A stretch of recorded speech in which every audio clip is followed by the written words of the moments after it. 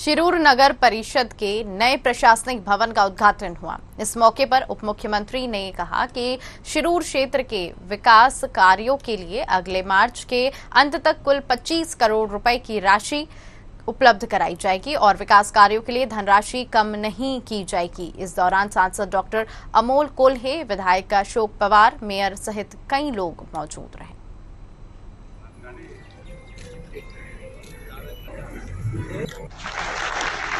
मी आपलं मनापासून स्वागत देखील करतो अभिनंदन करतो. सर्वांना धन्यवाद देखील देतो. मला ज्यावेळेस मला बहुतेकांना माहिती आहे की शुक्रवारचा दिवस मी पुण्याच्या करता ठेवलेला आहे. पुणे पिंपरी चिंचवड शहर आपला ग्रामीण भाग ह्याच्यातले प्रश्न असतात. या जिल्ह्याचा अनेक वर्ष मला पालकमंत्री म्हणून कामाची संधी साहेबांच्यामुळं पक्षाच्यामुळं मिळाली.